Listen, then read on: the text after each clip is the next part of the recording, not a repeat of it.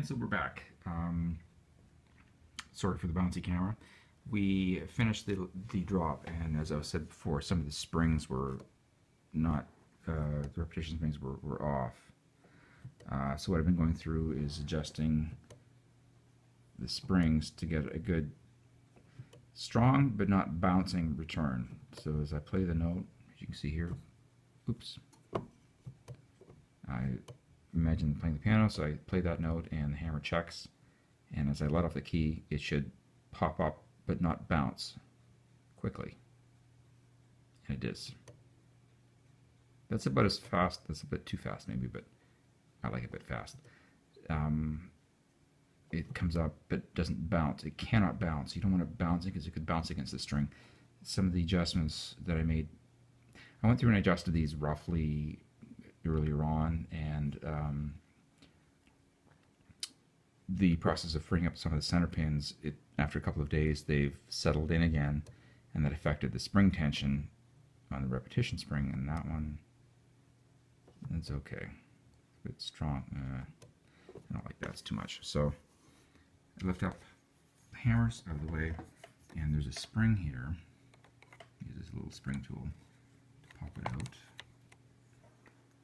Where am I here? Right there. There's a little hook. All it is is a wire. It's a, a loop of copper wire, and I'm just going to pull it back, bend it a bit, put more of a curve in it, and then put it back under that lever it's there seated properly. There we go, clicked.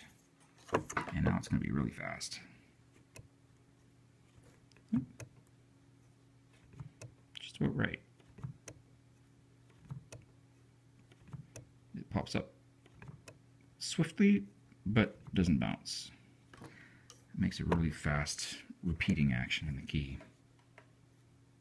Now that one, look at the difference here the one that I just adjusted has a quick rebound but does not bounce. And the one next to it, when we test it, it bounces up, but it comes up, but it's not as fast. So I would like, to, it's not going to be even.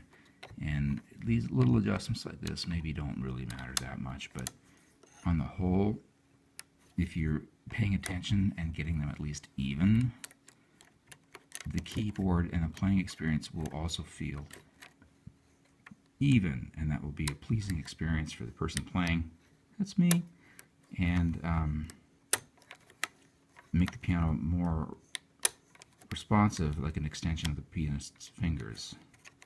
It is a machine, but like a good sports car that is carefully designed and constructed it becomes an extension of the driver and is an incredibly fun and exhilarating driving experience. Well, same with a good piano.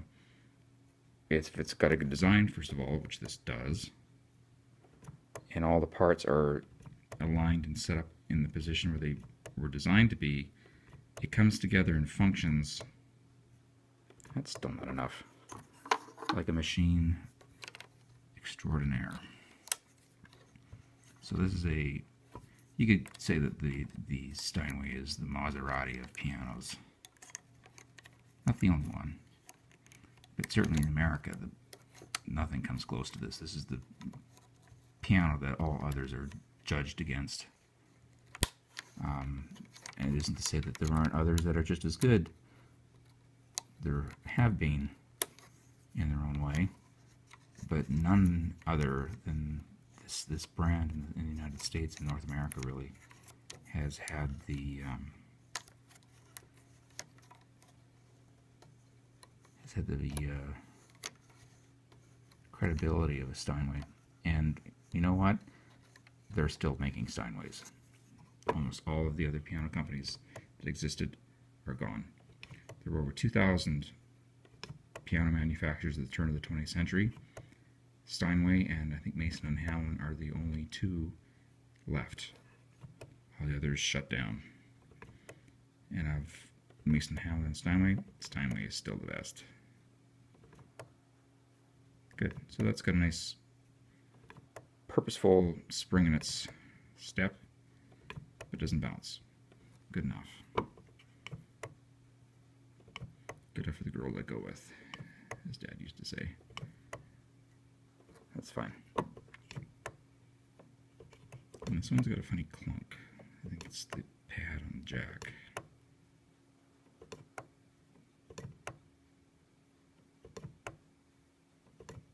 So I'm not sure what's with that. Speed is fine. Leave it. It's going to wear into in over the next few months of playing. It's going to need some minor adjustments. So I'm not going to try and make this like a final um,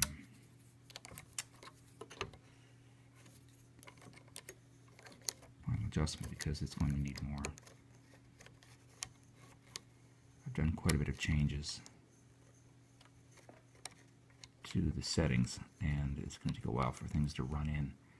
It's like a new car, you know, the new engine, it takes 5,000 miles before it really wears in. Well, this is definitely a worn in piano, but I've gone through and made some really significant changes to the settings and it's going to take, again, a period of time and playing for the, for the settings to stabilize. Okay, see how it balances? That's too much. Just, I mean, I like it fast, but that's too much. So, I don't take the spring out again. I just kind of caress it to flatten it a little bit in place. Like that. It doesn't take very much.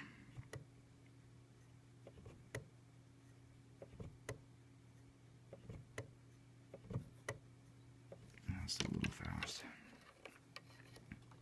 I don't want to take too much off either because it things could stiffen up a bit and then I need that extra tension. So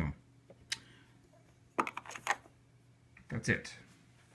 I will finish off the remainder of these and then really I don't have any other adjustments to do in the action. It's I'm going to put it together and reassemble the case and tomorrow to uh, tune it. Um, and I'll show you what I did to, to seat the um, strings on the plate. It threw it way out of tune. So it's going to need another pitch raise and tuning. Okay, that's it for tonight.